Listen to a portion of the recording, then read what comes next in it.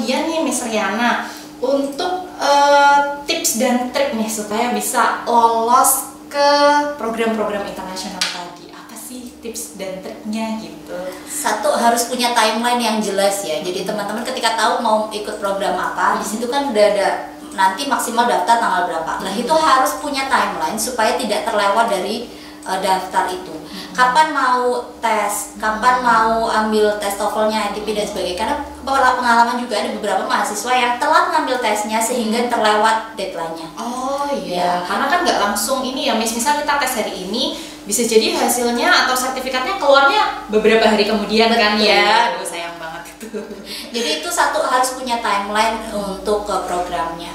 Kemudian yang kedua adalah persiapan teliti ya, jadi harus teliti sekali melihat syaratnya, kemudian memberikan apa yang diminta hmm. oleh uh, penyedia beasiswa itu atau program itu. Jadi harus benar-benar sesuai dengan apa yang diminta. Mintanya motivation letter ya bikinnya motivation letter. Mintanya ise nih, biar kita juga bikinnya ise. Jadi sesuai dengan apa yang diminta. Harus teliti.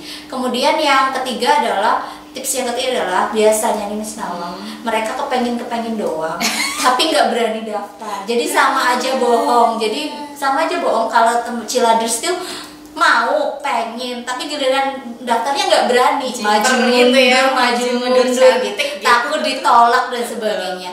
Padahal misalnya nggak lolos pun satu program masih banyak program-program yang lain yang bisa dicoba dan kesempatannya tuh banyak banget. Jadi kadang kitanya aja mungkin yang nggak update terhadap kesempatan itu jadinya nggak tahu ngiranya terbatas dan sebagainya jadi itu yang ketiga tuh penting banget berani untuk mendaftar kalau nggak daftar ya nggak akan lolos itu iya, kuncinya dan yang nanti kan kalaupun mendaftar pun pasti didampingi secara penuh kan ya jadi nggak nggak usah takut nih ciladers daftar dulu aja nanti kan kalau ada apa-apa tinggal konsultasi dengan OIA, konsultasi dengan kaprodi ataupun dekan begitu ya terkait dengan syarat-syaratnya. Yang penting daftar dulu aja, go for it, berani dulu ya. Oke. Okay.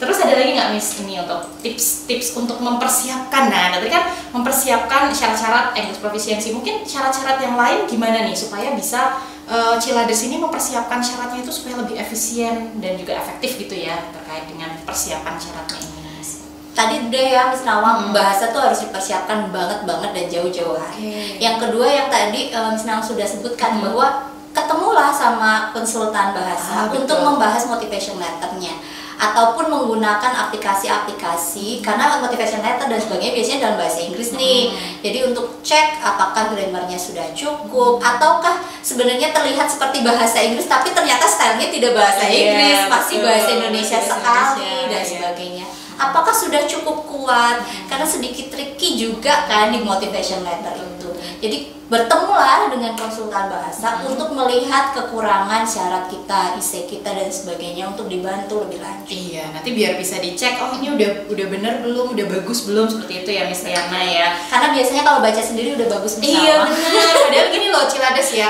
Uh, kadang tuh kita baca kita bikin nih tulisan nih ya, tapi kita tuh nggak tahu kan apakah tulisan yang kita bikin itu in native style atau Indonesian style. Kan itu kan di sini kayak karena kita bikin in bahasa versi bahasa Indonesia nya terus kayak kita just translate it to English. Hmm. padahal menurut native itu tuh kayak ini tuh kayak kok kayak gini banget. Kayak bukan bukan nature-nya maksudnya bukan nature-nya mereka gitu ya Miss ya jadi emang bener harus dikonsultasikan dengan ahlinya supaya benar-benar memastikan apa yang dipersiapkan tadi berkas-berkasnya itu memang sudah sesuai gitu ya Miss ya. Yang pastinya Betul. chance untuk bisa lolos itu pasti lebih tinggi gitu ya Miss intinya jangan persiapan ala kadarnya ya ah, teman-teman. Jadi harus dipersiapkan dengan betul-betul supaya kesempatan lolosnya pun lebih tinggi. Nah, setuju nih. Terus biasanya tuh uh, selain tadi persiapan untuk uh, English proficiency test ataupun motivation letter tantangan apalagi sih Miss yang tidak kalah challengingnya nih dalam dalam mempersiapkan ataupun nanti ketika udah uh, apa ya udah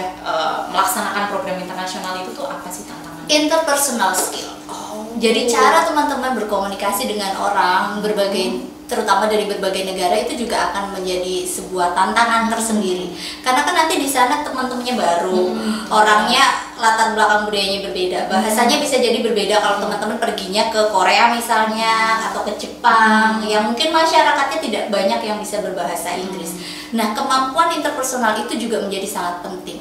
Bisa nggak teman-teman itu mem, apa ya, berteman Hmm. dengan teman-teman dari negara lain? Bisa nggak teman-teman itu berani berdiskusi dengan dosen yang bukan dari Hmm. negaranya, bertanya ketika eh, tidak paham dan sebagainya. Jadi hal-hal seperti itu itu juga menjadi sesuatu yang penting Hmm. untuk dipelajari. Kemampuan interpersonal itu penting banget. dan juga mungkin ini juga ya Miss ya cross cultural understanding Betul. itu penting banget ya mungkin kayak di Indonesia mungkin it's fine tapi ketika kita di luar negeri itu jadi hal yang oh mungkin jadi masalah atau mungkin Betul. tidak diterima jadi harus uh, belajar tentang budaya juga ya tadi selain interpersonal uh, skill yang juga harus diasah Betul. kemudian juga cross cultural understanding ini juga harus di apa ya diperdalam lagi ya Miss Tiana ya Iya. harus riset harus banyak baca Betul. kalau perlu coba untuk ngobrol dengan orang dari negara tersebut kan cari kenalan gitu ya Miss ya Udah tahu nih mau ke Korea cari tahu eh, masyarakat Korea itu biasanya seperti Betul. apa apa yang mereka tidak eh, bisa diterima secara budaya itu juga di kita pelajari sehingga ketika kita ke sana kita tidak kaget dan tidak melanggar aturan yang ada di sana nantinya. Nah, tips-tips tadi Miss, tips untuk bisa tadi meningkatkan interpersonal skill tuh gimana sih? Terus mungkin untuk meningkatkan cross cultural understanding kita tuh kayak gimana sih Miss? Oke, biasanya nih kalau dari OYA sendiri akan membekali teman-teman yang mau exchange dengan pengetahuan cross cultural understanding itu. Kalau di beberapa program studi nih, misalnya di pendidikan bahasa Inggris dan juga sastra Inggris, pastinya mereka sudah punya nih mata kuliah yang terkait dengan cross cultural understanding itu. Jadi untuk mahasiswa yang tidak mendapatkan mata kuliah ini biasanya kita akan dampingi, kemudian e, mungkin tidak secara formal. Kadang kita formal kayak classical class gitu Hmm. kalau banyak Miss Nawang. Tapi kalau memang hanya sedikit, maka kita akan lebih banyak seperti diskusi, Diskusi, kemudian memberitahu gitu ya. ya. Akan ke mana, kemudian apa yang di sana itu harus dipersiapkan dan sebagainya. Sampai baju aja kita tuh biasanya diskusikan loh Iya, Nawang. jadi kayak- kamu akan berangkat di musim apa, Iya. kemudian apa yang harus bajunya, dibawa iya. gitu kan jadi kayak mungkin kayak kelihatannya sepele gitu ya Miss tapi it really matters gitu loh jadi Banget. benar-benar ah, mungkin hal-hal kecil yang harus harus harus diperhatikan nah mungkin lain kali kita akan sharing nih tentang ini nih Miss Riana jadi kayak misalkan yang mau exchange ke negara apa nah apa sih harus dipersiapkan bahkan event uh, a little bit detail gitu kayak detailnya tuh apa saja yang perlu di ini nah kapan-kapan akan kita sharingkan nih buat Cilat semua. Jadi tunggu aja ya di uh, YouTube Cilat Official ya. Pastinya nanti akan ada banyak informasi yang akan menginspirasi dan juga memotivasi Cilat semua. Nah, ini nih Mes, gimana tadi kan bisa dapat informasi terupdate kan sudah ya bisa dari Kaprodi, bisa dari apa namanya Unisula juga mungkin atau dari OIA. Nah mungkin OIA ada website atau ada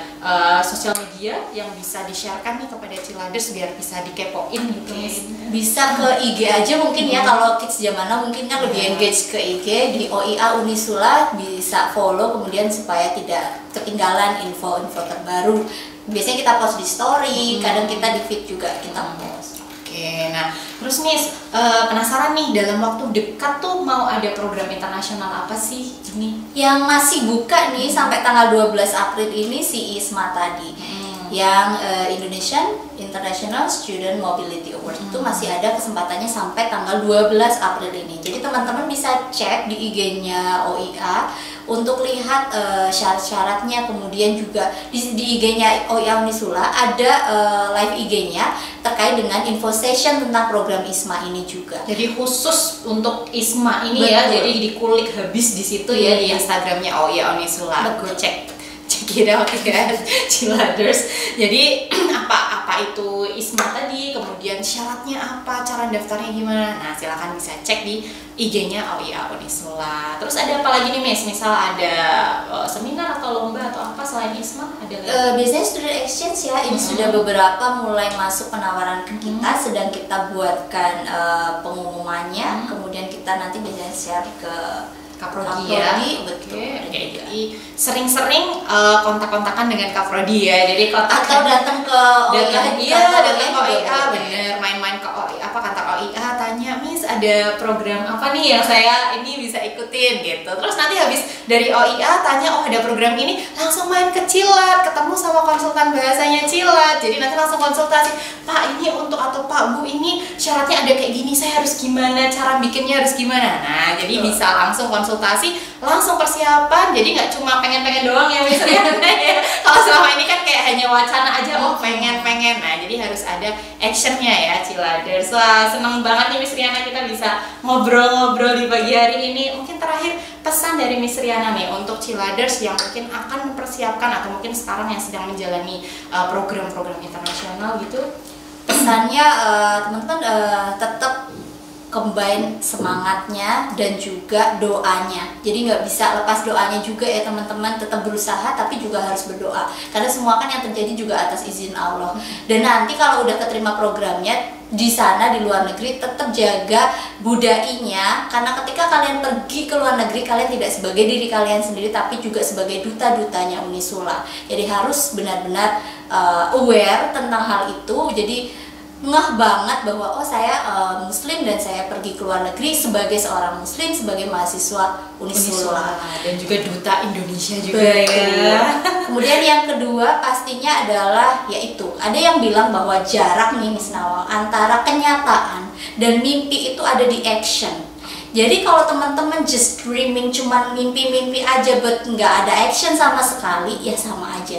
Jadi kalau memang pengen ikut program-program internasional dari sekarang silahkan susun stepnya strateginya action apa yang akan mau diambil misalnya dengan uh, very humble step ya misalnya teman-teman persiapan bahasanya dulu Betul. sewaktu-waktu program itu dibuka kalian sudah, Udah siap, siap. Nah, Betul, gitu. betul. jadi action sangat penting jadi the, jarak dari distance antara dream sama reality itu ada di action siapa yang membuat action ya diri kalian sendiri dan juga jangan lupa berdoanya Ah keren banget nih. Jadi nyiapinnya itu nggak harus yang sesuatu yang besar duluan gitu ya Miss Liana. Mulai dari simple steps. Jadi dari step-step yang tadi sederhana. Mungkin dari yang semester awal ini bisa banget mulai dipersiapkan dari sekarang dari Betul. segi persiapan bahasanya siap-siap untuk belajar TOEFL-nya untuk meningkatkan English proficiency test score-nya gitu ya. Nanti ya kalau sudah kan semakin uh, meningkat misalnya sudah baik nah nanti ketika sudah ada nih programnya nah tinggal eksekusinya actionnya ya Ciladers.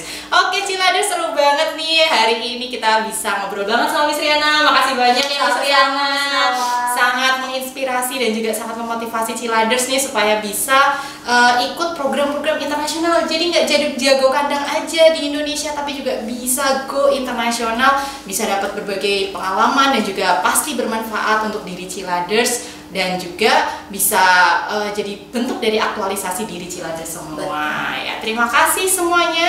Sampai ketemu di video berikutnya. Jangan lupa like comment share and subscribe YouTube Cilat Official. Wassalamualaikum warahmatullahi wabarakatuh.